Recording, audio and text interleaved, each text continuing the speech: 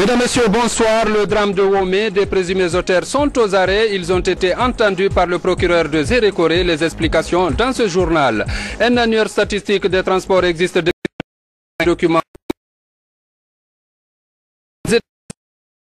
lutte contre le réchauffement climatique. Le président a annoncé au sommet des Nations Unies. Bonsoir à tous et bienvenue dans ce journal. Parlons du drame de Womé. 25 présumés auteurs sont sont actuellement entendus par le procureur de la République de Zérékoré. Parmi ces personnes interpellées sont le garde des Sceaux, les principaux auteurs arrêtés à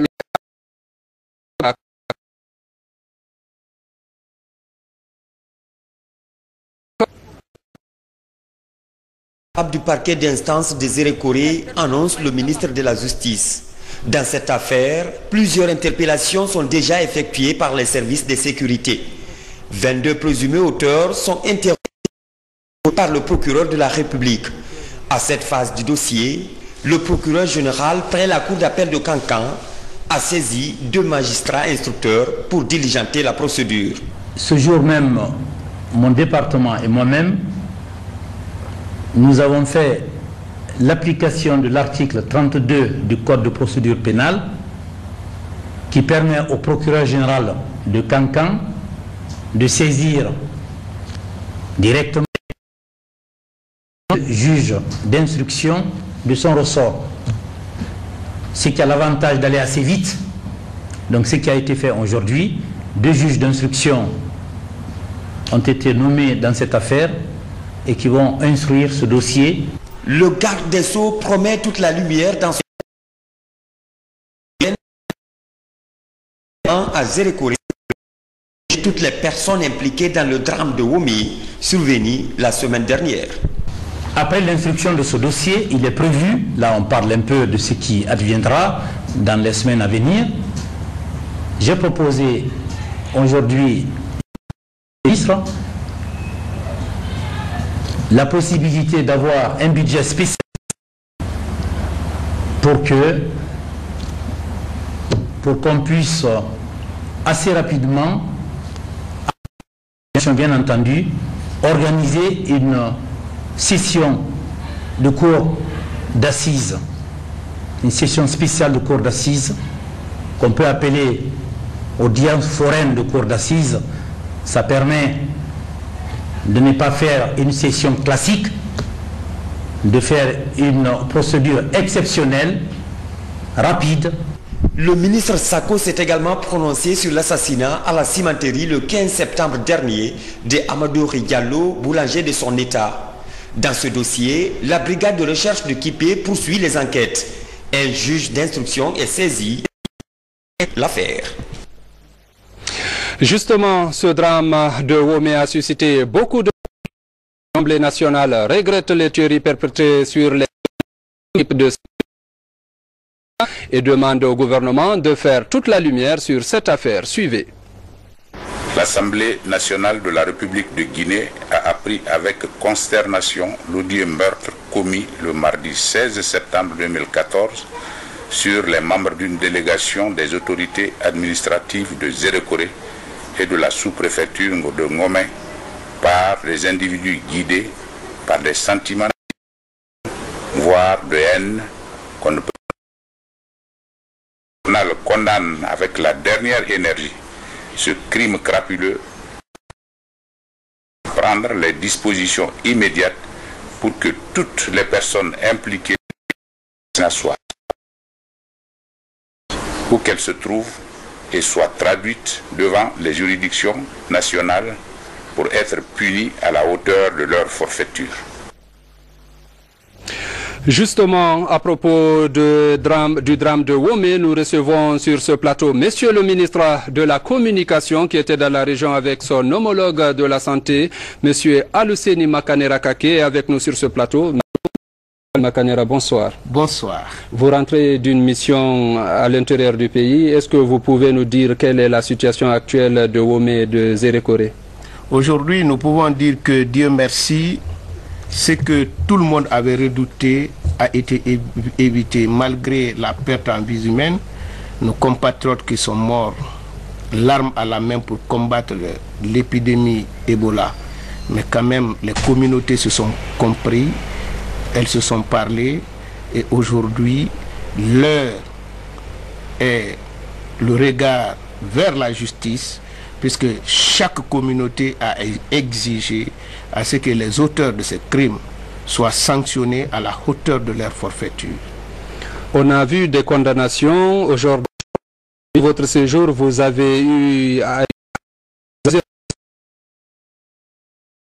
dire euh, aujourd'hui que l'atmosphère euh, revient à la normale Absolument, aujourd'hui, Zéré Corée, l'atmosphère revient à la normale.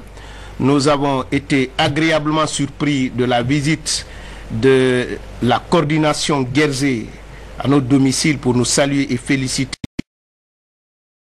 et aussi la coordination de la communauté Konya en tête le premier imam de la mosquée Konya. Ils sont venus nous saluer, nous féliciter que c'est la première fois une telle crise s'est déroulée la plus grande transparence où toutes les personnes ressources de Zérekoré ont été associées et heureusement tout s'est déroulé dans les très bonnes conditions. Monsieur le ministre, des politiques vous prêtent des propos sur le statut de Womé. Que dites-vous? Bon, je pense que une simple diversion. Ce qui me pousse aujourd'hui à me poser légitimement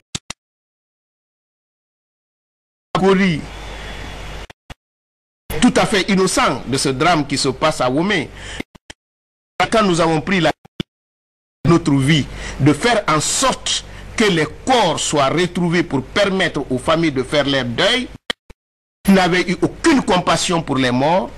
La seule question qu'ils nous posaient régulièrement, est-ce qu'on va envoyer les militaires à Womé? Il ne faut pas à Womé. Ce que j'apprends aujourd'hui me surprend.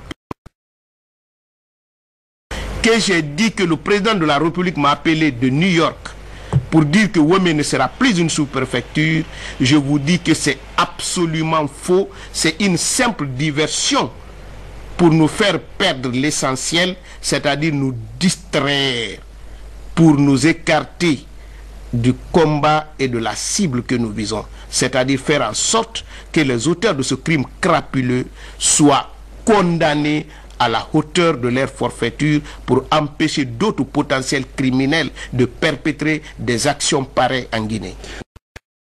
Les auteurs pour empêcher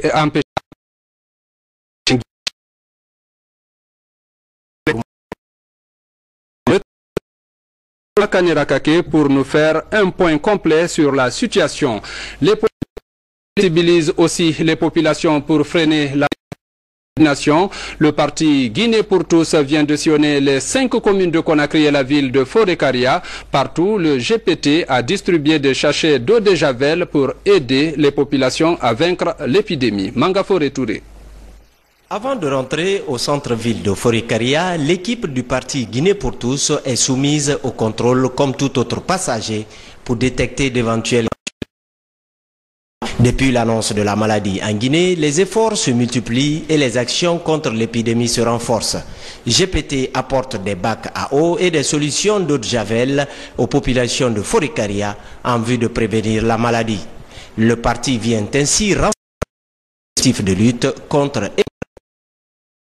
la première réunion du bureau exécutif convoquée par le président quand il est arrivé, c'était de nous instruire d'arrêter toute action politique et de nous mettre à la tâche d'assistance des populations face à la crise de santé que sévit le pays depuis quelque temps. Cette crise de santé qui concerne euh, la fièvre euh, hémorragique Ebola. En tant que citoyen guinéen, il était du ressort du GPT de contribuer à la lutte contre cette maladie. Je raison du fait que le GPT n'agit qu'en tant qu'humanitaire.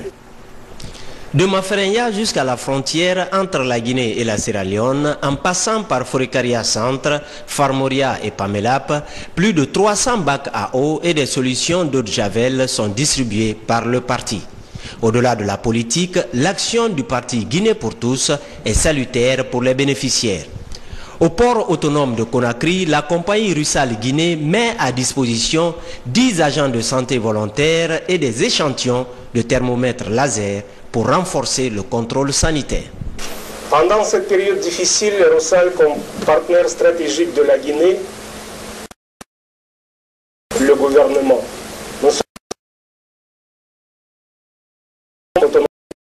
soutenir cette lutte contre Ebola. Nous remercions très sincèrement la société du Sahel et nous leur demandons de nous accompagner. Nous vous demandons de placer ces informations euh, à nos partenaires à l'extérieur pour qu'ils puissent toujours avoir confiance euh, aux mesures prises par le port de Conakry. La synergie dans la lutte contre Ebola pourrait aider le pays à juguler la maladie. Dans cette lancée, le parti Guinée pour tous occupe désormais une place dans la lutte contre l'épidémie à virus Ebola. Une méthode privilégiée pour vaincre l'épidémie d'Ebola. Comme vous venez de le voir, les différentes structures politiques s'activent dans ce sens. C'est le cas du comité de base du RPG Arc-en-Ciel de Taouya qui vient de distribuer des kits d'hygiène dans les lieux de culte, de culte dont les respectants bénéficier des séances de sensibilisation de prévention contre Ebola. Reportage Nabi Zakaria Bangoura, Mamadou Alpha Baldé. Vaincrons Ebola. Ensemble, vaincrons Ebola. Mais aussi ensemble pour éviter la contamination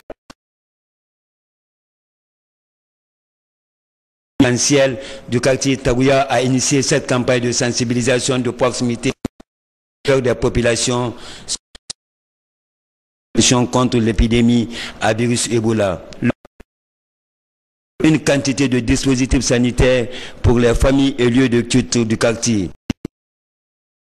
Lutte contre être menée en, en, en, en dehors de toute considération politique, ethnique et religieuse. Chacun peut faire un peu. À la suite de cette sensibilisation de proximité, les membres du comité ont procédé à la distribution de ces kits sanitaires. Plus de 750 foyers bénéficieront de ces dispositifs. Cela pour assurer les mesures d'hygiène dans ces familles. Pour mieux combattre la maladie à travers l'arme de la sensibilisation, les religieux sont sollicités. Ici, à Caporo Centre, les imams de Ratouma sont sensibilisés sur la nature de la maladie, ce pour qualifier davantage les messages qu'ils véhiculent auprès des fidèles.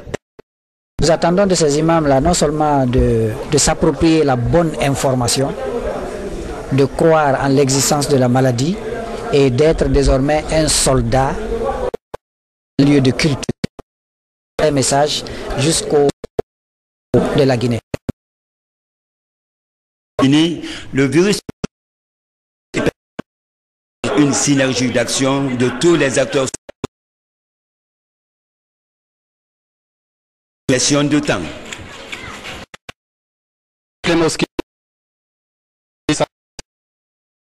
Ebola dans ce foyer, Tcherno Ibrahim Bari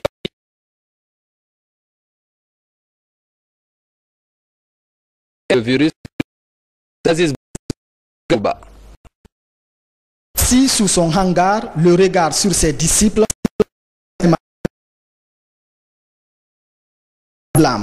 l'école coranique accueille une centaine les enfants en rang soumis.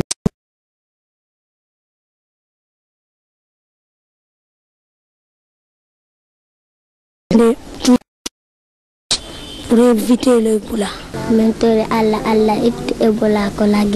En cette période d'épidémie d'Ebola, le respect des mesures sanitaires sont de mise dans cette école.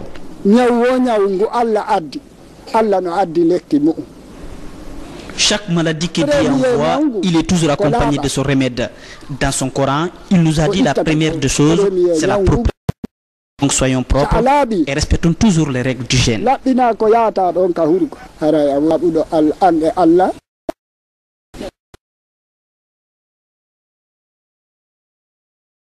Marge Dans ces foyers, la sensibilisation à ce que Ebola soit complètement vaincu. Pour les examens prénuptiaux en Guinée, des pères éducateurs sont en formation pour mieux sensibiliser les populations. Cette initiative est encouragée par l'Association guinéenne pour la sauvegarde de la santé familiale. Reportage Djene. Les maladies et sexuellement transmissibles sont fréquemment rencontrées par de nombreux jeunes couples. Les partenaires conjugaux sont manque d'examen prénuptiaux. C'est pour que l'Association guinéenne pour la sauvegarde de la santé sensibilisation. 20 pères éducateurs présents à cet atelier sont chargés de l'hôpital. Plus souvent, avant le mariage, cas médical le couple sera à l'hôpital, euh, ils ne font pas les examens, disons. Avoir le, certificat médical pronuptial. Donc, du coup, on a n'est-ce pas l'importance de, de, ces examens C'est pourquoi ils agissent ainsi. Et alors, c'est décidé la population à la base et les ressortir l'examen prénuptiaux. Cette campagne vise à informer et sensibiliser les jeunes, hommes et femmes en âge de procréer à l'examen. L'initiative est saluée par les autorités communales. Nous les encourageons, nous remercions les partenaires et nous en appelons à l'attention de plusieurs partenaires et même l'État de les accompagner. Cela nous permettra, les collectivités, la population, de ne plus être victime, n'est-ce pas, de cette négligence ou de cette complaisance. Parce que si on n'a pas ceux qui sont spécialisés à la matière de vérifier l'authenticité des documents qui sont octroyés, je vous assure, on va toujours entendre parler euh, de, de, de ce manquement. Au total, 1200 adolescents, 300 membres des associations féminines et 200 de santé seront touchés par cette santé. La GISAF de contribuer à la promotion de la santé familiale dans le pays. La Guinée dispose désormais d'un annuaire statistique des transports. Le document vient combler un grand vide dans ce secteur. La réalisation du document a été rendue possible grâce à l'appui technique et financier de la Banque mondiale et du Programme des Nations Unies pour le développement. Explication Ansouman Touman Kamara. C'est le premier annuaire statistique dans l'histoire des transports en Guinée. Il compte 67 pages et constitue une banque de données pour évaluer les tendances des indicateurs de productivité et de performance des transports terrestres, maritimes, aériens et la météorologie en Guinée. Après la validation de ce document, le lendemain, ce sera meilleur. Parce que on a déjà on aura en main un document de référence qu'on peut vendre et dans le pays et à l'extérieur du pays. Ce qui nous manquait avant. L'annuaire statistique des transports de Guinée est aussi un repère pour l'État et ses partenaires dans l'amélioration des conditions de vie des populations. C'est pourquoi les différents acteurs des secteurs du transport ont durant une journée échangé sur le contenu du document avant de le valider. Au sortir de cet atelier, nous saurons réellement quel est le parc automobile. Il est important. Savoir le niveau du parc automobile par catégorie de véhicules quand nous, regardons aujourd'hui le parc auto, camion, il faut que ça soit déterminé. Les poids légers, il faut que ça soit déterminé.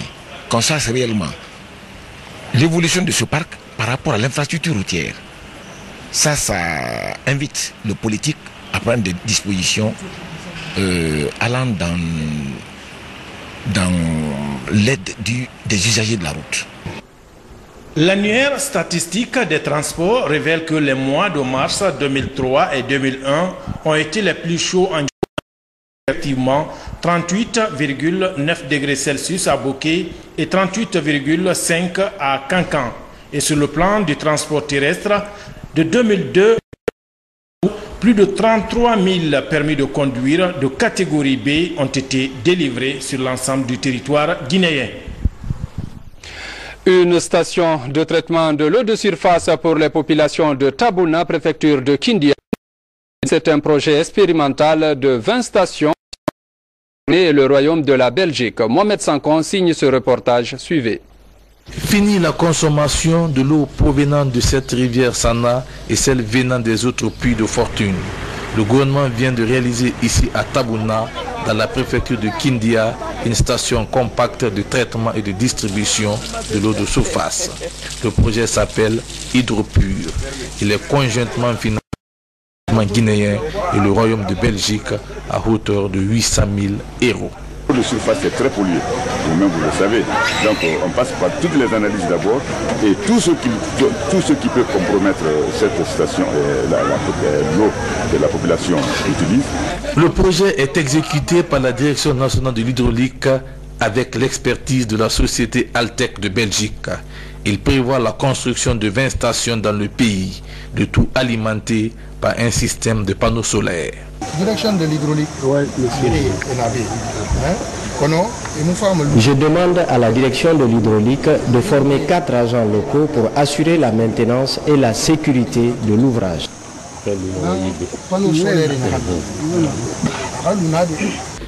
Les bénéficiaires apprécient la politique de qui leur permet ici de lutter contre les maladies hydriques. Depuis la création de ce village jusqu'à maintenant, c'est la première fois d'avoir une telle installation chez nous. Là, nous recevons en tout cas une eau potable qui peut nous aider franchement à vivre sans avoir beaucoup de maladies. Il appartient désormais à ces bénéficiaires d'assurer la maintenance pour garantir la l'ouvrage. La mise en place des journalistes parlementaires fait son chemin en Guinée. Les intéressés suivent actuellement une formation à Kindia sous l'égide du PNUD pour apprendre comment mieux restituer les activités du Parlement. Le point avec Robert Siditolno. Cet atelier de formation de base des journalistes parlementaires l'Assemblée nationale et le PNUD, Programme des Nations Unies pour le développement. La rencontre regroupe plus de 30 journalistes venus des médias publics et privés pour perspective la mise en place d'un réseau de journalistes parlementaires. Dès qu'ils sont organisés en réseau, nous, allons préparer leur accréditation auprès de l'institution pour qu'ils soient les premiers partenaires, n'est-ce pas, en termes de communication de l'Assemblée nationale. Ils ont un plan d'action à l'intérieur duquel il est prévu la mise en place d'un réseau de journalistes parlementaires. Et donc nous avons cru devoir euh, les apporter un appui faisant une formation de base qui permet aux futurs journalistes de la presse parlementaire de connaître d'abord comment est organisée, comment fonctionne l'Assemblée nationale. Dans son évolution, il convient à souligner qu'en Guinée, c'est la première fois qu'un Parlement élu œuvre à la mise en place d'un réseau de journalistes parlementaires visibilité des une occasion pour les autorités de l'institution d'appeler les journalistes à plus dans le processus. L'Assemblée nationale, dans sa voudrait que les journalistes parlementaires tout doivent leur permettre de communiquer facilement pour le Parlement. Et à ce, dans cet ordre d'idée, il faudrait que ceux maintenant puissent avoir tous les arguments Toujours, ces journalistes seront familiarisés avec les techniques de couverture médiatique sur les actions d'une assemblée normale sans occulter le vote des lois ainsi que l'approbation du budget national et le contrôle de l'action gouvernementale. La journée nationale de la jeunesse sera célébrée le septembre. Cette célébration est placée sur service de la nation. Par rapport à cet événement attendu demain, le ministre de la Jeunesse a fait une déclaration. On l'écoute au micro de Sa Amara Tolno. Journée nationale de la jeunesse intervient dans un contexte particulièrement marqué par la lutte contre la fièvre hémorragique à virus Ebola. Le département de la jeunesse appelle donc les jeunes à plus de responsabilités sur cette épidémie. La crise sanitaire Solaire, le thème de l'édition 2014 de la jeunesse est intitulé Stop Ebola. Chers jeunes de Guinée, s'agit lors de cette journée de vous et de vous amener à vous mettre davantage au service de la nation en participant à la lutte contre l'épidémie d'Ebola direct l'épidémie. À l'occasion donc de cette 24e édition, le ministère de la Jeunesse et de l'Emploi jeune, en collaboration de la Guinée lance officiellement une campagne d'information et de sensibilisation pour freiner la propagation de cette maladie. Je à mobiliser toute la jeunesse pour couvrir tout le pays par la méthode porte à porte. Elle répond aussi à l'appel à la nation fait par le chef de l'État, le professeur. La lutte contre l'épidémie, mais aussi la lutte contre l'isolement de la Guinée. En ces moments difficiles pour notre nation, je vous invite à méditer encore une fois la célèbre phrase du président américain John Fitzgerald Kennedy qui dit Ne demande pas ce que ton pays peut faire pour toi, demande ce que tu peux faire pour ton pays. De rester fondamental qui favorise l'édification avec de nouveaux types de Guinéens. Une morale. Une grande nation se construit sur des valeurs saines. Mesdames, Messieurs, c'est la fin de cette édition. Merci à vous qui nous suivez à New York. Et